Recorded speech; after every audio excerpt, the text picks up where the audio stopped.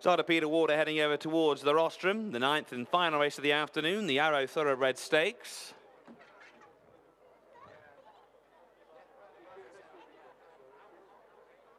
The extended mile trip in front of them. Flag is raised. Coming in. And they're off. And a good start made by Valentine Blue, who won here over further than this last time out. The horse that he beat on that occasion, Fight or Flight, she stalks him in second place as they make the turn into the back straight.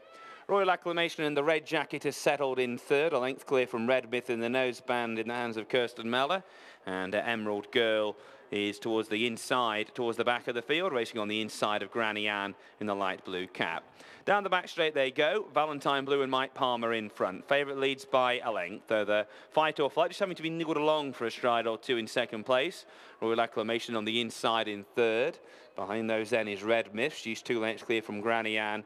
And finally at the rear, Emerald Girl. About six lengths top to tail as they go towards the far end of the back straight. Five furlongs left to travel, making a right-hand turn. Valentine Blue, the leader by just over a length. Fight or Flight continued to be chivied along in second. Royal Acclamation in third. Then Red Myth in the noseband. Granny Ann on the improve towards her outside. And on the inside, Emerald Girl is just last, but they're still very tightly grouped. Three and a half furlongs left to go. They're on the downhill run back for home. It remains Valentine Blue, the one to pass. Leads by over a length from Royal Acclamation. Going to get a nice gap through on the inside. Fight or Flight in third.